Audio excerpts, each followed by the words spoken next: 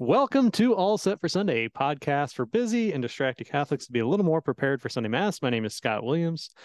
My co host is Jeff Trailer. Hey, bud. Hi, Scott. Father Peter Marshall is joining us today. Hi, Hello. Father. Thanks for having me. Hey, it's a joy to have you in the new podcast studio. Yes, the ever evolving and growing and emer- emerging podcast studio. Yeah, this is going to be the new place where we record podcasts. Excellent. You should all see it slowly get nicer. But in the meantime, You can do that on YouTube. yeah, Right now, there is a bunch of crap behind us. it might sound nicer too. I don't know. Maybe We'll see. it could be worse or it could be Let better. us let us know in the comments. Yeah, drop us a, a show note. Yeah. You put it in the show notes for us. Put it in the show notes. It'd be great. Father, what's new in your world? Uh, not not much. Getting ready Pastors be for. pastoring. we got uh NCYC and Is that coming up? You're supposed to say NC, and then we say YC. NC YC. NC YC. uh and then Advent and Christmas. When this re- this when this airs, it'll actually be past tense. But Right. but Yes. yeah, it it it went well. It was, It was amazing. great. It was the What a best. beautiful experience. Can you believe all those kids and their funny hats? Oh, just glory, just glory to God. Did you do anything at the NCYC? Are you emceeing I'm, or I'm emceeing. I've got Yeah. uh, a mass I'm emceeing Thursday and a mass I'm emceeing on Friday, and then uh, helping prepare for and uh, assist MC at uh, the closing mass on Saturday. So Are you emceeing for himself? no, uh, I take the other priest, the concelebrating priest. That, Ah. that's usually what Who I. you're in did you say you're assisting the MCs? So you like Well, Father third- Brockmeyer is, third tier MC? is I'm second tier. So- Thank you. okay. Father Brockmeyer is the MC for the closing mass. If you Okay. were a, a rapper, you would be MC second tier. yeah, You you should tell your servers that joke. They'll think it's very funny. Um, is are, are we done? I went to mass at St. Jude recently, and you guys had some uh, a bunch of servers, and it Isn't was it awesome. great? Yeah, I love it. and love it. several of them had mullets. Yes, that's that's Is that a thing with high that's, school that's the thing with the kids these days. Okay, Uh, why? I I know why, but I want you to talk about why you have so many servers. How does that? How you do that? Uh, one we created the high school young man uh, serving program. We call them MCs, and uh, they they're Third tiers. they're they're a huge help. Uh, they direct and manage the younger servers, and uh, they set up the altar and they turn pages in the missal for me. They're fantastic. Uh, and then we opened up serving to hey, if you are coming to mass and you want to serve, uh, get vested and and help out, and you may have more to do or less to do depending on how many there are but you're welcome to uh to be a server at any mass you're present at and that's just really taken off it's It's really awesome. great yeah I mean, I think it's really awesome. I've heard of other priests who do have similar programs where it becomes an invitation, but also expectation. Like right it, that if you're there, you serve. Right. And that may mean you process in and you process out. Right. And you don't do anything else in between. But that presence, like in in the that act of service, that's really awesome. yes and you know uh, people will say to me oh they just they don't the the kids get bored sitting in the pew or whatever and i'm like well if if this is a way to keep them interested mm-hmm. in mass then that doesn't bother me Yeah. right? Not to mention, Have you know people what? just been blowing up your DMs asking you those questions. a little bit the I was gonna say the other thing that comes from it is like, I mean, Scott just said it, but I've been hearing it from other people too, that like people see it yes and they recognize they're like, man, they got so many servers at St. Jude. And that is not something you hear at a lot of No. parishes. And so I, I think a real side benefit for the parish is that sense of hope in the future that hey look at all the young people that we have at this parish and they're involved and they're engaged and uh that's a hopeful thing for the whole parish I would say the other piece being, and I don't know that it's directly happening there, but I would imagine it would spark the conversation. Like as families start to pull away from church, or if they're looking, if there's something that comes up, if their kids are that involved and they're doing that, maybe like I've always said, the kids can be a, kids can be Yeah. a great motivator in getting parents to mass. Right. And so if them getting to be a part of that and they love that and they enjoy that experience is the reason for them to say, no, we when are we going to mass? I Well, want to know when we're the going. the really funny thing to me is to hear from parents uh, that they now uh, have to arrive at mass early uh, Hmm. because Nobody knows what the, to do. the kid wants to serve. So I did show up late to your church. Yeah. Sorry. that's all right. Dominic's too young to serve anyway. Yeah. Yeah. One day you don't want that noise. Not right now. Mm, he would do. He'd do great. Probably not. A couple years. A couple years. He'd be into it. Oh, yeah. no doubt. Yep. All right. Um, speaking of being into it, I'm ready to into get it. into the two minute drill? Yes. You know why I'm so into this? Why? Why I'm so excited It is my favorite solemnity of the year. Oh, yeah? Absolutely. Yes, it really is. Why? Because of the title. And it's fitting that we're coming off I'm of on the, the, wrong page. we're gonna uh yeah, you should get to that. Goodness gracious. Uh yeah, there it is. Um my favorite solemnity of the year, the 30 second Sunday in order. I was like, this is just all um no but here we've been having all this discussion on stay tuned if you haven't been listening but come dumb questions you'll hear about it about space travel. And here we are solemnity of our lord jesus christ. And then i love the catholic church so deeply and so much because then they decided that title is not enough for this feast day let's come over the top and say king of the universe Mhm. the solemnity of our Lord Jesus Christ, King of the universe. In case there was any misconception or confusion in there, let's establish it right now. And I love it. Can't so, do more than that. nope. So our first reading comes from Ezekiel chapter 34. Um, have have you guys did you have you Shep heard about the readings this weekend? I knew you were gonna like it. I wrote it down up here. I was very excited. Uh yeah definitely a, a shepherd feel to the readings this weekend. So the first reading talks about um how the lord speaks to ezekiel saying that he how he will look after his sheep.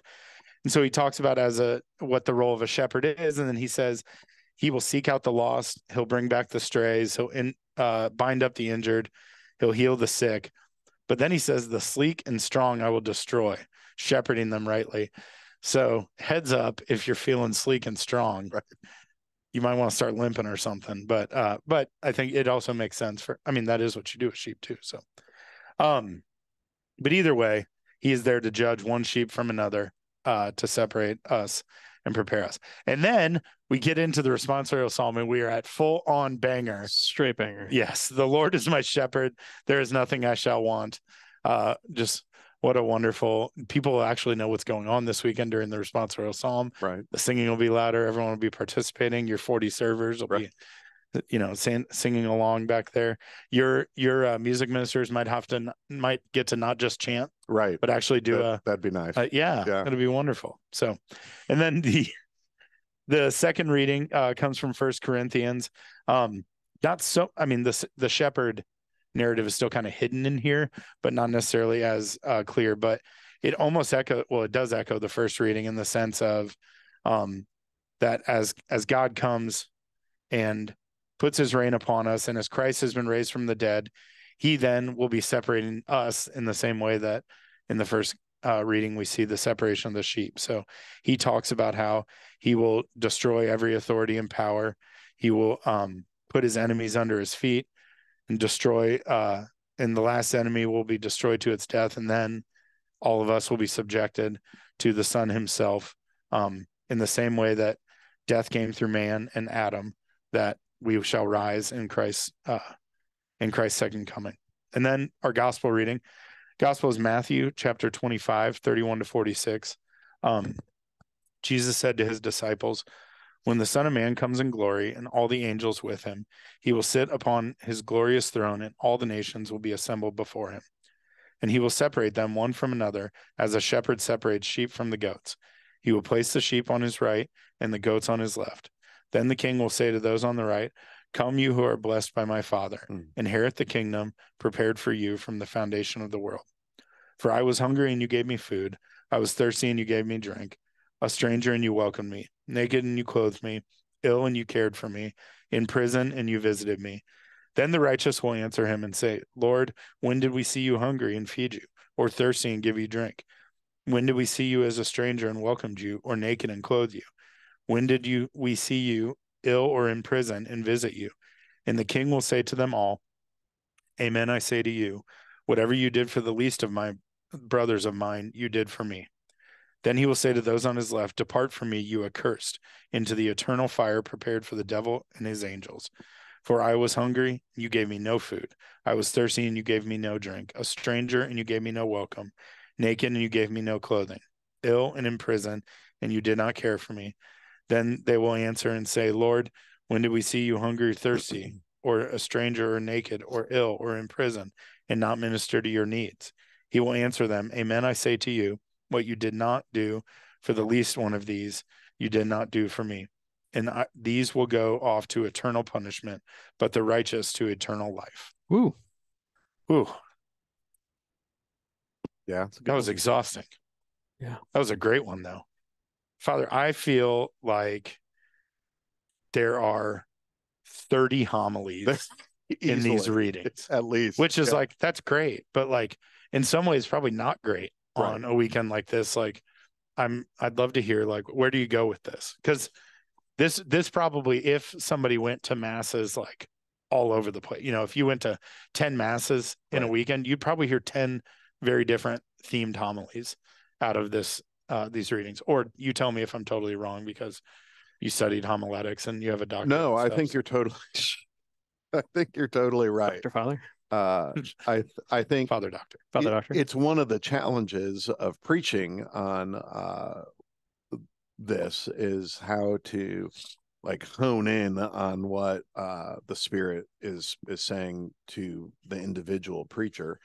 Um, I think there's always themes from the feast itself of uh, what does it mean to have a king and uh, and the authority of a shepherd.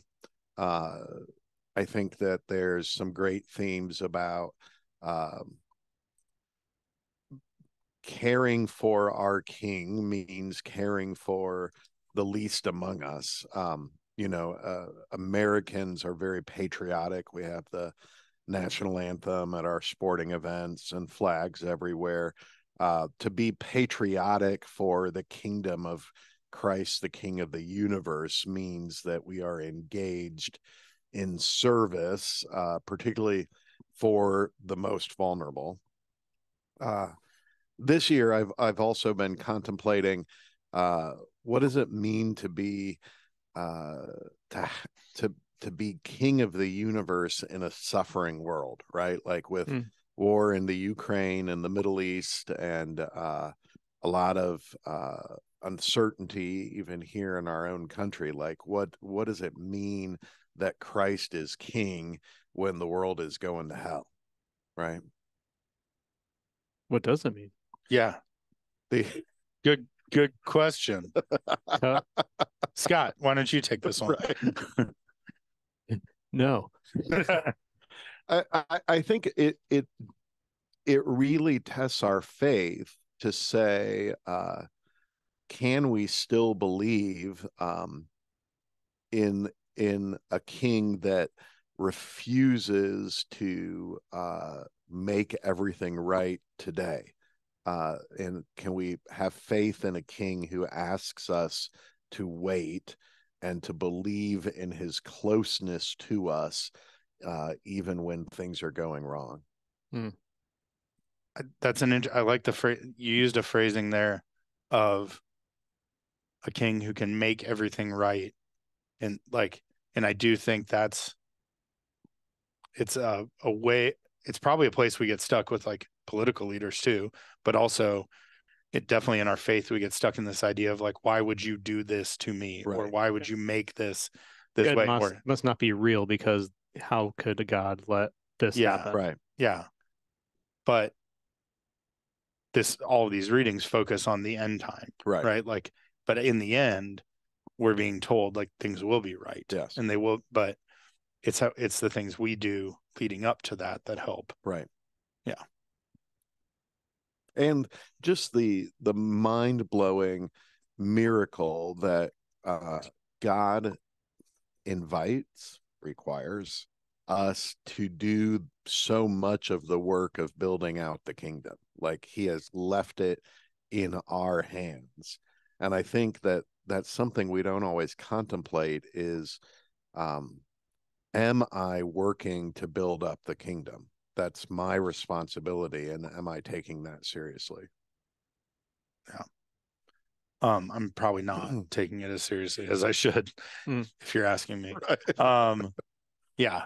Uh, no, I mean, even just reading through these readings gives that sense of like, well, where do I fall in these sheep, Right. or Mhm. where am I in the and when the Lord comes and did I feed the hungry and clothe the naked? And even as I was just reading that gospel reading, you're just like flashing through like, which which side do I end up Right. on? Um, which we should that should be what's Yeah. happening, right? That should be the question we're asking ourselves probably daily, not just when we hear this. Man, I was so excited about this feast day, and then here I am. Brought it down a notch. No, No, but it's good. I think there is that question though, like whether or not I don't know. I, I think I can fall into that trap of am I doing enough? Am I doing enough to to to live out this this gospel message? When I think of a world where, you know, things are there's wars wars and and justices and uh you know, but what can I do in those situations and where like how do we know the difference between when we when we are listening and doing what God is asking us to do versus I mean theoretically there's endless opportunities to do better, right? Right. Or is that just the the game that we should be playing is that we should always try to be getting better. Well, I think I mean this is one of the beautiful things to me about Catholicism is it's always a tension. And so on the one hand, we have our role to play, our responsibility. On the other hand, we have a king who is God. And so we do our piece and let God be God and do do his piece, right? Mm-hmm. and so um i think the something like a regular examen to say am i doing my piece is sufficient right as long as we don't just kind of let ourselves off the hook but um am i doing my piece okay then uh leave the rest up to god and uh it'll be all right Okay. That's good advice. Um, what becomes the practical walkway here for families? Like you've got young kids at home, if you have high school age kids at home, and you turned all your servers right on the altar, right? Like what is the message you want them walking away from here or parents to be sharing with the with their kids? Yeah, I I think uh I think parents ought to be really explicit about this is our faith. Um so if we are involved in a service project, we are doing it not because it's nice, but because this is our faith to say that we care for the poor. Um and uh and I think like, you know, can you say a little prayer before? Can you say a little prayer after? Um asking questions like did you did you have a sense of god in the middle of doing this? Was god present here uh was he present in the people we were serving or just in the spirit of communion amongst the volunteers or you know like a little bit of low key theological reflection uh i think to help make those connections explicit. Yeah, I think, I mean, obviously our gospel reading talks about the corporal works of mercy. Right.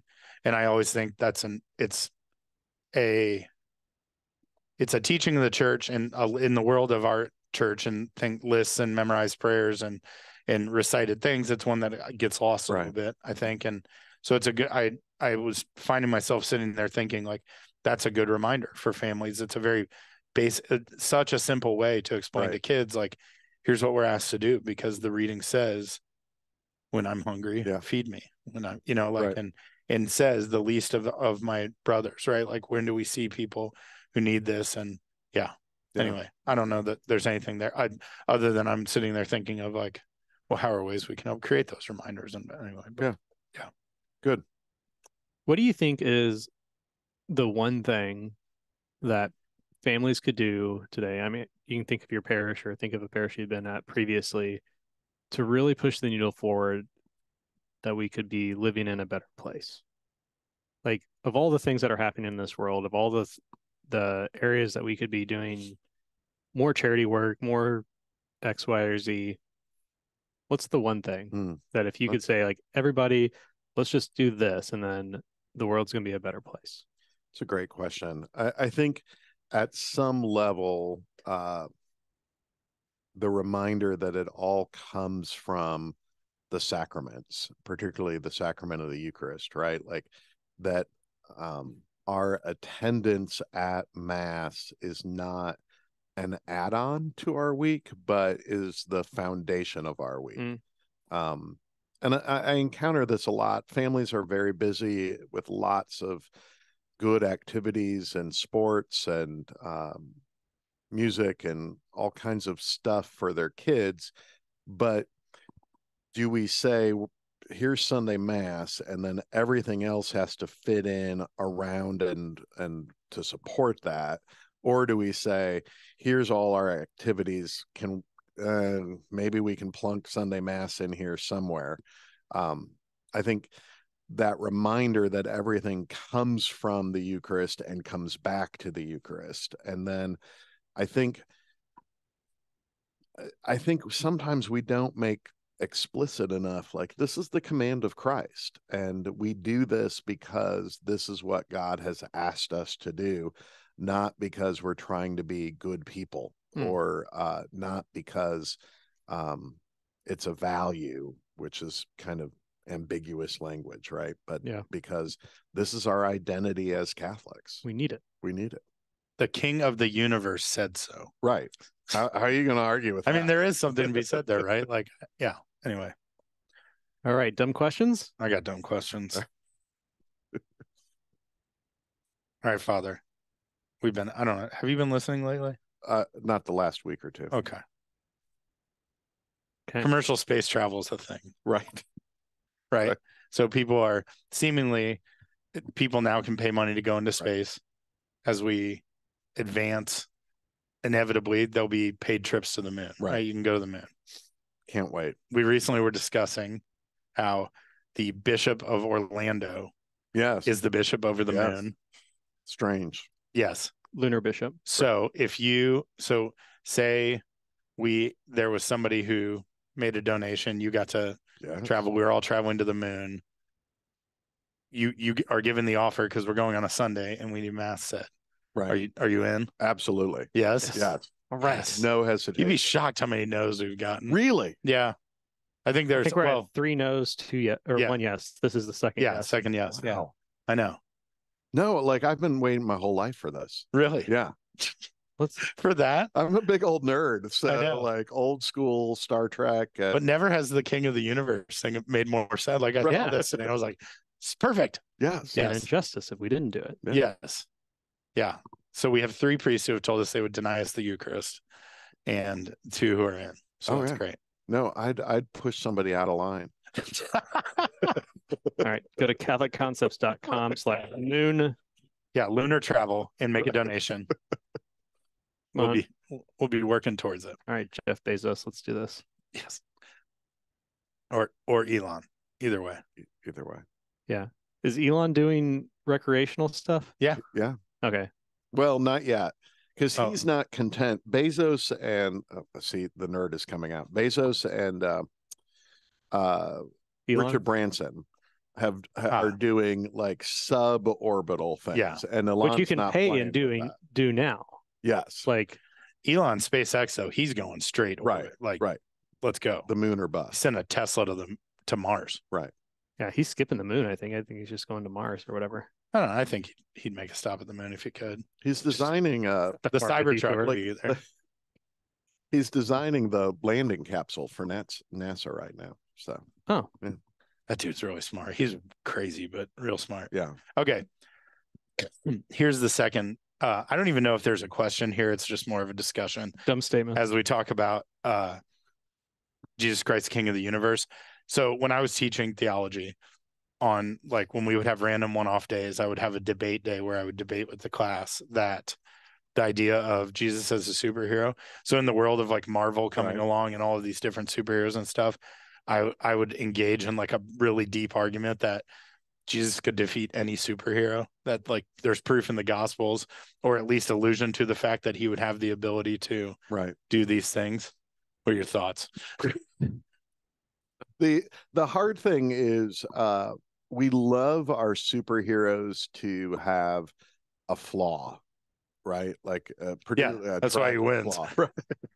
so so in that in that respect jesus is in a different category Ooh. right That's a good point. yeah Yeah. I hadn't really I had never thought about yeah. I mean, well, he's king of the universe. he's king of the universe Yeah, there's like- no kryptonite there's there's no uh and presumably if other universes exist, he's king of those too. yes Like there's if they exist, it's because right his father created them. Yeah. So yeah. All right. So if you were in Mr. Trailer's theology class Yeah. 10 years ago, Yeah. What this is what I always say is like what's the what's the the superhero or the superpower or the thing you think of that you're like, yeah, but could how could he handle this? Like yeah that that that, that doesn't occur to me I know. yeah sorry i'm boring on this one Yeah, he also like always in the back pocket is that rise from the dead thing. right It's like, yeah, none of Right. none of your guys can do that. you can, you can So- respawn instantly Yeah. so Or yeah, or bilocate Right. or yeah, like walk Yeah. through walls yeah. Yeah. Yeah. Uh yeah. Walk on water. Yeah. Presumably just like fly. create like- food out of nothing Yeah. he ascended into heaven. Yes. Fly. Flight. Yes. Huh. Anyway, all right. It was like I said, more dumb statement, but that's always I really enjoyed that day in class. It was always great. Just really and like the uh the, my like experience equivalent of that is talking about confession to people and Mhm. they're like well what about if this happens wouldn't you break the seal then wouldn't you break the seal then and the uh the fact that the answer is always the- no. the answer never changes Yeah. Yeah. No. And then they're like, What? You wouldn't? Yeah. Yeah. And they're like, I would. And you're like, Yeah, that's why you're not a priest. you're not a priest gotcha. Cross you off the vocation list. Uh, All right. yeah. Is that it? I don't have any other dumb questions off the top of my head. You got any dumb questions for us, Father? no no good luck this week i know it's a, a lot and then uh It went great. Remember? Oh, sorry. Yes, Yes. I, I'm glad to hear NCYC went great. Get Yes. geared up for Black Friday. I know that's a busy time for Woo you. woo. Yeah. This, I think that already happened too. uh, No, no, no, no. Black no, Friday's it'll be right before, uh, this. Oh, okay. Good. Yeah. Oh Yeah. man. Whew. Yeah, we're in the hustle and bustle around here. Yeah. Really getting it done. So yeah. All right. From the All right. future, signing off. Thanks, Father. Thank you.